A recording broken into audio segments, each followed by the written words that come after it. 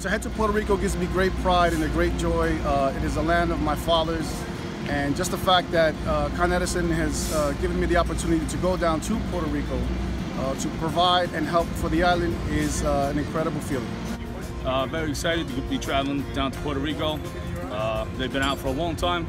It's, they need the help, and we're, we're coming. For the people of Puerto Rico, the Con Edison employees, including Staten Island, Westchester, Brooklyn, Queens, Orange and Rockland, union and management alike, we're coming there to do our best to get you back your power. The New York convoy will leave from right here in Saukon, New Jersey. They will load the equipment and the vehicles onto a barge. From there, it's going to take them about a week to reach the island of Puerto Rico. Uh, I'd like to say to the people of Puerto Rico that uh, not to worry.